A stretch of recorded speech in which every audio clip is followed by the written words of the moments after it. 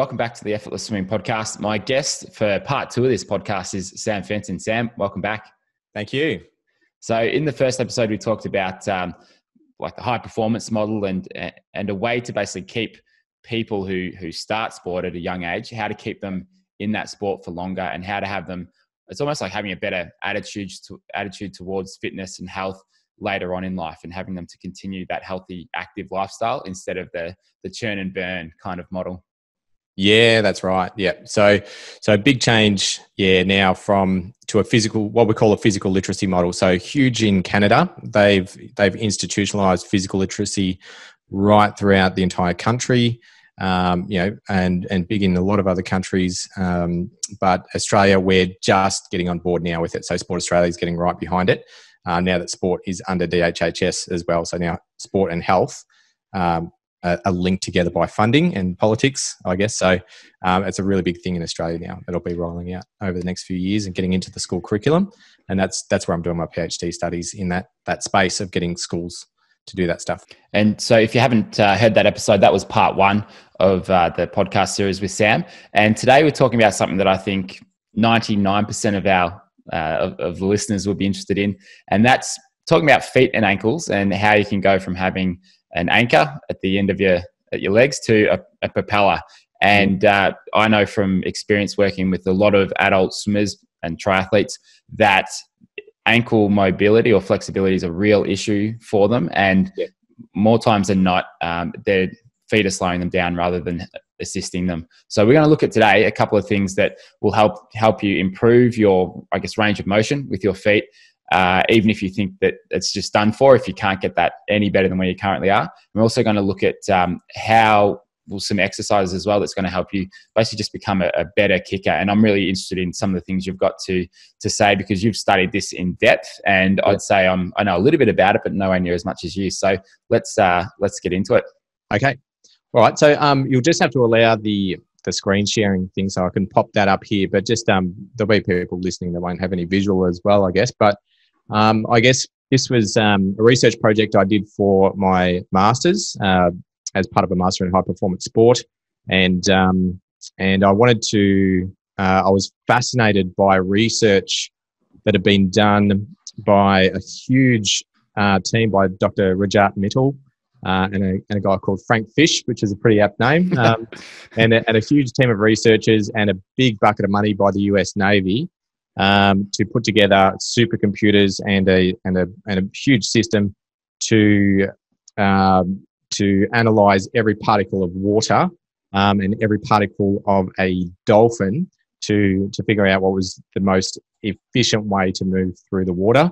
Um, obviously, with the the end goal for the U.S. Navy was a, a submarine that can't be to, can't be detected.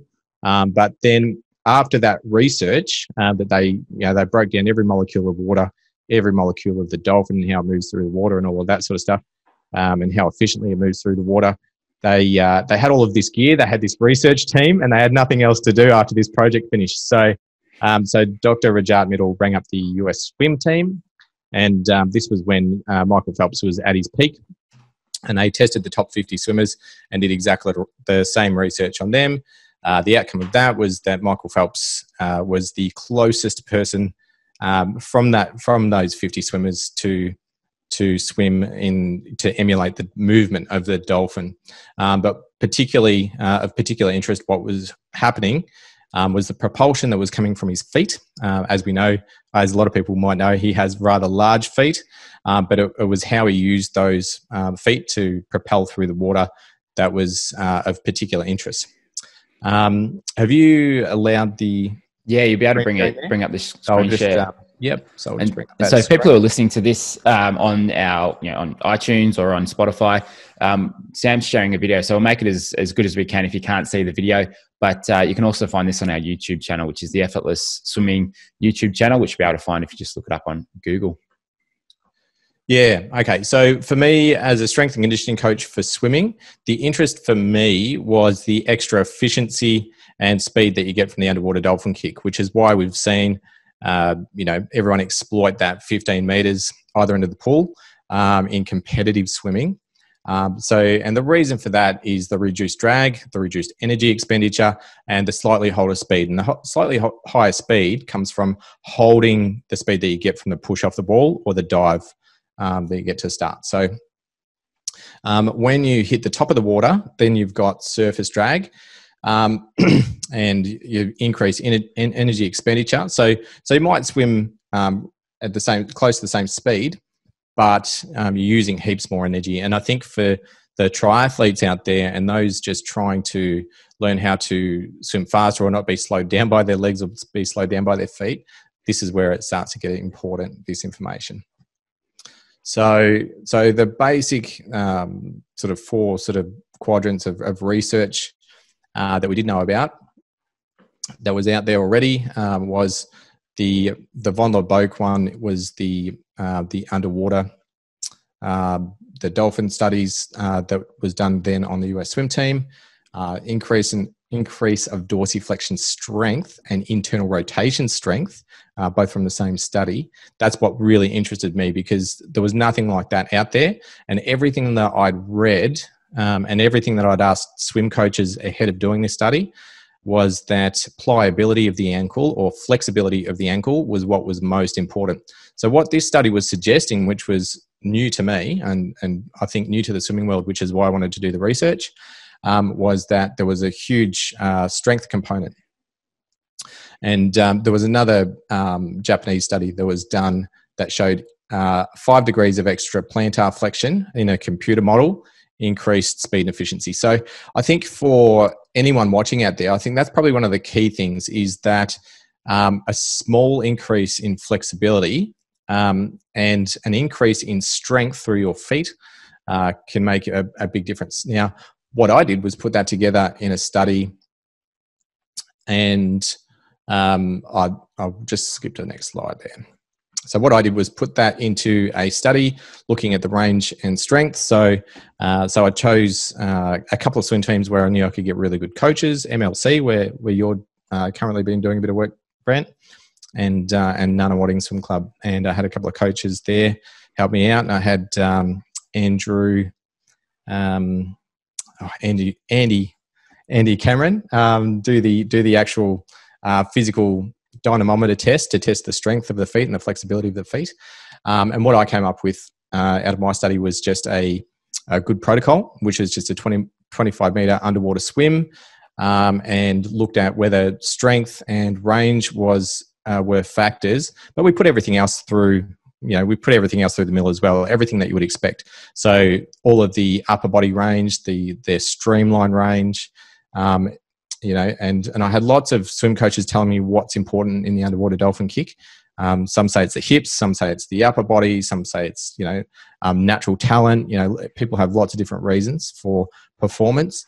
Um, and what came out of this study we put it all through a um, a statistical analysis and what came out was that um, 30% of the performance was explained by the um, range and flexibility put together, which is which is what I expected from the previous studies that have been done, but it hadn't been done before in a in a in a practical um, competitive setting with with age group swimmers.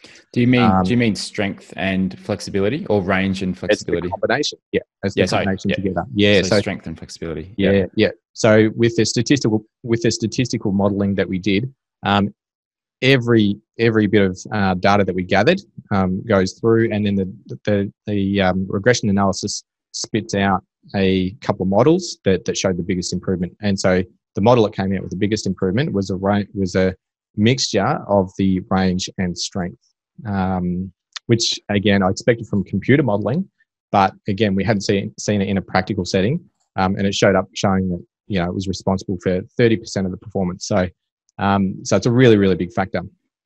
And I guess um, maybe I'm skipping ahead, but I guess the big question for a lot of a lot of people will be thinking now is, all right, that's that sounds great. How do I now improve those two things? Yep, and uh, that's what every swim coach said straight away when they saw me doing the study. As soon as they saw um, Andrew, you know, with the dynamometer doing the doing the testing, and me me sitting there with my spreadsheet and those sort of things, um, they were they were like, "Oh, does that make a difference?" Uh, and I said, "Well, that's a hypothesis. I think it does. and um, and they're like, well, what do I have to do? What exercises? And they're like, oh, well, do I do ballet exercises? You know, things like you know the um, all those foot movements and foot stretching and foot strengthening. Uh, and the answer is actually yes. Um, so those you know stronger feet, smarter feet uh, are really really important. Um, really there's some other really interesting studies that I haven't spoken about where that they did do on age group swimmers where they they showed that um, skilled age group swimmers who were skilled in the underwater dolphin kick were grabbing vortices that came off their knees because because humans are, are clunky. We've got all these joints. Dolphins are smooth and they you know and they they move like a you know they've got a right down to the end. It's a, it's a wave that goes through their body that generates the propulsion. But because humans have hips and knees and ankles there's there's the, all of those places there, those segments of the body that create lots of friction in the water or vortices in the water. But what they showed was that the, the skilled swimmers were actually grabbing the vortices that were going in the opposite direction, coming off the knees, and then then grabbing those vortices and turning them into a jet stream aimed in, in precisely the right direction. So, hmm. um, so what we know is that there's there's a lot there's a lot more to the story. Um, that it's not just flexibility; it's strength and skill, and and what I believe, and and and this is you know a lot of research down the track that needs to be done, but there's there's a huge element of proprioception here of getting that feedback to motor control loop um, and being able to and feeling it on your skin. And I know this from you know working with swimmers that work at a really really high level of skill that teach me a lot about strength and conditioning. Um, is that they have such a feel and they can feel the water on their skin and they adjust to that, and that's why they learn how to propel themselves through the water and they learn to avoid resistance. Um, and they also can feel that through their feet. And and what um, what we know now that skilled swimmers are doing is they're actually grabbing vortices they're finding um, areas of water that are moving in the opposite direction, grabbing them with their feet, turning them into a jet, jet stream, and creating propulsion, which is amazing. It's amazing just to yeah. know that that's happening. Um, how do they, you know, it's it, it, boggles the mind in, in terms of how much um, neural power or brain power or, you know, you know, utilizing that proprioceptive feedback loop that it would take to actually understand what's going on, let alone understand it and turn that into uh, moving really, really fast through the water. So, mm-hmm. yeah, so for a, a, long story short, the key, the key, I mean, there's, there's several keys to this, but around the feet, the feet is super, super important in performance. They either speed you up or they slow you down.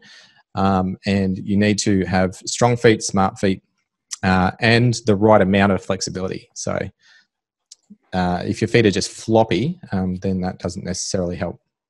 Um, and thinking from a, a lot of the triathletes I work with, uh, particularly if they've come from a running background, very stiff ankles and yep. um, and often quite limited. What uh, what could those athletes do to over time Im- improve it? And we know that we don't want to.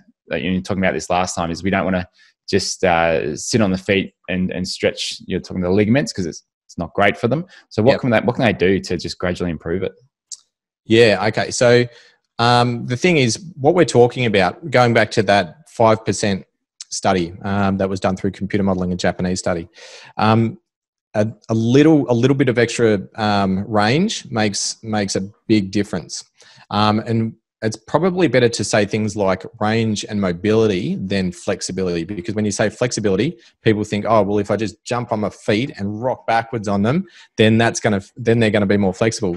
And yes they will be more flexible but you might cause a lot of damage particularly if you have stiff feet um, to start with. So you might just be tearing at the ligaments of your feet and once you've you know once you've um, stretched the ligaments you've created instability um, you've created a probably a much worse situation uh, than you started with. This is and this is the um, this is the juxtaposition of of things that you need from a human performance perspective um, for triathletes because running on land um, you increase performance through stiffness um, and then running on water uh, running on water swimming through sorry you improve your performance through um, through your mobility and skilled um, and creating a skilled wave movement through your body. So, Mm. um, so that's so that's the big challenge. So it's it's mobility stuff. So the more the more you can do with um, conditioning your tendons. So that that means rolling from so with a foam roller or a tennis ball or you know, um, a myofascial ball of some description or a myofascial roller is rolling from your knees um, all the way down. So the connective tissue goes you know goes up through your feet. You've got all of these uh, like strings that go from your toes right up through um, your shins, connect around sheaths um, around your the tibialis anterior or your big shin muscle, um, and and all of your other muscles around your feet. Um, or add, which is also an internal rotator, which is also um, is a big part of how you internally rotate your feet, which is a big Mm. part of how you hold hold your feet to create propulsion in the water as well. So, so you need to do control work where you're controlling what your feet are doing. So, really simple stuff. Um, so, with with our swimmers, what we do is just circles in, circles out, and pull up as hard as you can and push down as hard as you can.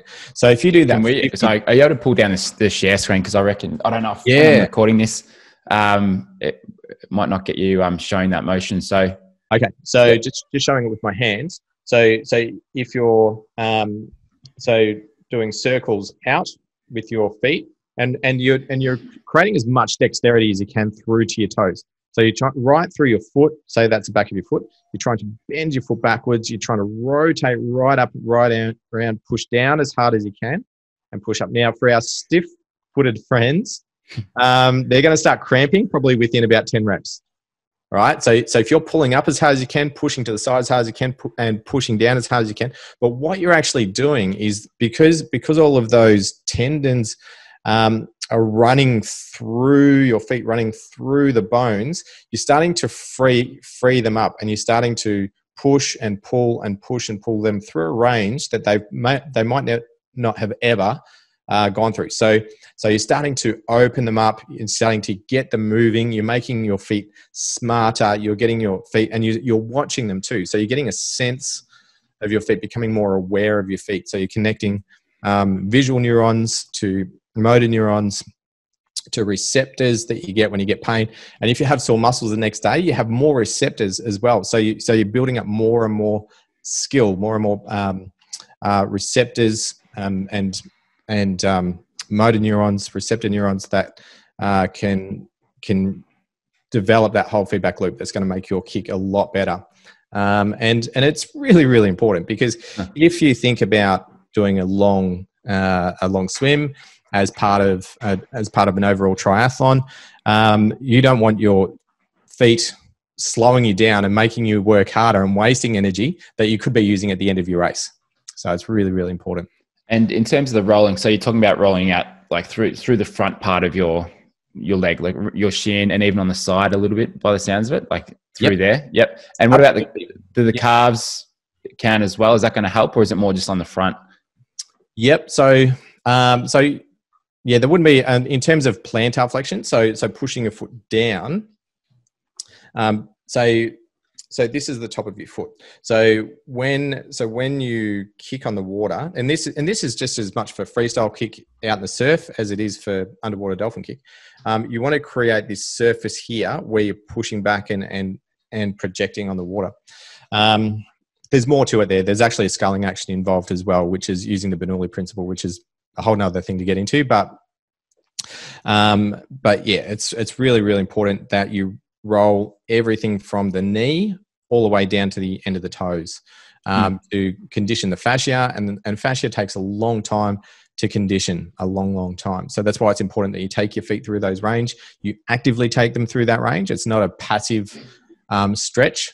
Um, again, which is why just sitting on your feet and rocking back is not such a great idea. Really for really for anyone, That's not something that I've ever encouraged. I always see it, and swimmers keep Yeah. doing it all the time. And And look, I've recommended it before as well. Um, so it's good to have. Um, it's good to have a few different ways to improve it. So th- that's looked at uh, at the the range of motion.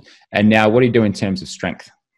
yeah, so just just with a a band, um, I've actually I've put up a YouTube video of, of Ruby um, doing this. Um, yeah, did as part of the study as well. Um, but yeah, just just again, just pushing down, which is you know plantar flexion, pushing down with a with a uh, band, you know, like a ribbon band around your feet. So pushing down as hard as you can, pulling up as hard as you can, um, and turning in and turning out. So. Um, and have you got the band around your feet the whole time as you do that? Yeah, yeah, yeah, yeah. That's right. Gotcha. Um, so yeah, just like a, ther- a, a ribbon th- TheraBand, it, like a similar one that you'd use for your shoulder shoulder rotation, the internal and external rotations and stuff like that as well. Yeah, same, same deal. Um, you yeah. can put a link. You can put a link to the video in your um, in your feed down the bottom. Yep. But um, yeah, it's it's just pushing down, pulling up, and being able to create that circle against against resistance to strengthen the muscles. Like I said, with no band, hmm. just just doing those movements, pushing down, pulling up, and doing circles outwards and doing circles inwards. If you do 50 reps each of those, um, that's a couple of hundred reps right there. Um, you'll be conditioned and you'll be hmm. improving your condition. And like I said, for our stiff-footed friends, that's you know they, they're going to start. The muscles will start burning after about you know 10 reps or so if they're pushing. Yeah. Uh, and look, so many. Like, I had clinics on the weekend, and um, yeah, quite a few people said they cramp all the time. They cramp in their um, in their feet. They cramp in their calves, and um, and so that stuff's obviously going to help. Is there anything else that would help them avoid uh, cramping there? And like I think a lot of times it it seems like it's just stiffness through the feet and through the through the calves and just through the entire leg from all the running and riding and stuff. But um, what other things would you suggest that they do there? Yeah. Um, it's not just yeah. Look, it's it's con- it's lack of conditioning through those muscles too. So right, um, as as as you would know and you would have experienced as well. Um, if um, you know when you get back in the pool after a long time and and you and you're getting cramps, it's it's it's in those muscles that are least conditioned. That's mm. that's where you start cramping. So, um, yeah, look, the huge issue with feet, um, and I don't want to get controversial here. Um, Do but, it. Get controversial. uh, yeah, look, if if but I think it makes sense if you think of strapping your foot down in a in a moon boot, in uh, in one of those boots. If you've ever had a broken foot or an ankle or whatever it is, uh, you strap your feet down, and what happens to your feet? I'm not sure. I've never. Uh, well, they just don't get used, so I guess they uh, uh, some of the muscles waste away, and probably lose. Well, you lose conditioning. Yeah, so you lose conditioning, you lose control, you lose strength, um, and you lose muscle. Now, unless you do something to gain that muscle back, um, you're you know you're permanently um, a little bit less able uh, to do something, right? Because you have less muscle and less and less strength. Uh, your physiology's changed. Now, if you strap your foot down into a shoe, now, and this this goes for bike shoes, so um, ski boots, snowboard boots, um, any type of shoe that you strap your foot down really, really hard into. Um, you, you've basically strapped your foot down into a moon boot. So then what you're relying on is everything above above that um, part of the chain mm. um, to, to do all the work. And then all of a sudden you're, you're doing something that requires a lot of work um, from muscles that are used to being, you know, fixed, fixed down and laced down or you know if you crank your um, shoes up in your on your bike as well. So uh, and there's no movement allowed in in all of those situations. So we've got it. We've got a, a pretty strong culture of strapping down our feet um, and and and really anesthetizing them and not and not um, not appreciating them. I think so. Um, but there was, you know, the whole barefoot movement and the class action against the Vibram Five Fingers as well.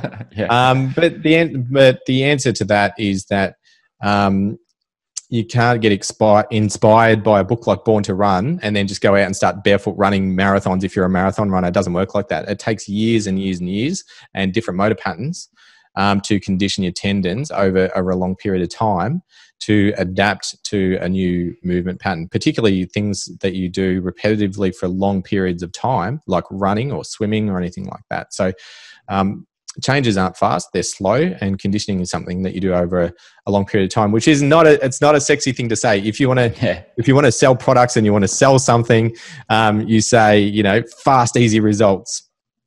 Um, but the reality is a little bit different. Yeah that's exactly right. And look when that i listened to that book um, on as an audio book and got my vibrams went yes. for a few runs. yeah. Got super tight calves and yeah. my shins were in pain for a while yep. and uh, and didn't use them since. That's right. So, um, yeah, very guilty. yeah. And, uh, and a huge group also sued, uh, went in a class action against Vibram. So, yeah, look, um, so the, you know, it's, so the, there's the there's the inspiration um, and then there's the real story. I mean if you're a mm. Tamil indian that you know, grew up from a child you know running like that in the, in that sort of footwear and bare feet um, that would be fine. But if you've grown up all of your you know all of your life in a moon boot and then all of a sudden you want to you want to do this you know different completely different style which puts completely different stresses on your body uh, it's it's not going to work overnight. It's going to take a long time to adapt. And the older you are, you know, the, the longer it takes um, mm. for those adaptations to to kick in. So that's why it's great to do this stuff with with little kids. Um, and you see, uh, you know, countries like New Zealand with um, with their small sided barefoot games. In you know, getting little kids to play small sided games of rugby and bare feet, and that, it's a big part of their culture, you know. And, and look at what the All Blacks did over the last you know couple of decades. So, um, yeah, there's there's different ways to go about it. Have you? I mean, I guess yeah. You're. Have what have you seen with the kids that you've worked with in terms of doing these strengthening exercises? Like, how long does it take to see results? Is it noticeable for for you or for the coaches over the course of a couple of months to to see their kick improving? Like, what's what, what have you seen? Yeah, we can only say anecdotally um, mm. that we've done it, and you know their kicking's getting better. So it's it doesn't it doesn't automatically and necessarily transfer straight over the pool. And I haven't done a study on it um, with our own swimmers. Um, I've only done a study to say that, well, to look at whether if you're stronger and more flexible through there, uh, does that improve your underwater work? Um, and you know, and it did. So uh, that's what, and that's what I was expecting. Um, and the outcome of that for me was to always include the foot exercises um, that we do in our in our warm ups and exercise routines, um, and just be just be very aware of it. Make sure that we're always doing that part of the training. And and generally, um, as a as you know, Trent, as a, as a swimming club, we do we do pretty well for a, for a country swimming club. Yeah, yeah, that's it. Well, um, and that's the Traralgon Swimming Club. As didn't mention that before, but that's where, um, yeah, where I I still compete for them, and uh, that's where I grew up swimming, and that's where um, my dad coaches as well. So um, Sam, that's great. I think we'll leave it there for this part two episode on feet and ankles. And that's uh, for me, you know, working with a lot of um, adult swimmers and triathletes. That give, that's given me a lot of hope that there is ways to improve their range of motion through their feet because Absolutely. it's often a limiting factor in a big, big way. Um, and like for me personally, I focus a lot on the front end of the stroke, the catch in the pool, because if you're wearing a wetsuit, look, that's mostly what's going to make the biggest difference is that stuff. But yes. certainly your feet can slow you down, and we see that all the time. So, Sam, thanks very much, and we'll be back for uh, part three where we're going to talk about deep core work and how you can develop your deep core strength and how that translates to swimming and um, better coordination through the rest of the body. So, Fantastic. thank you, Sam. Thank you.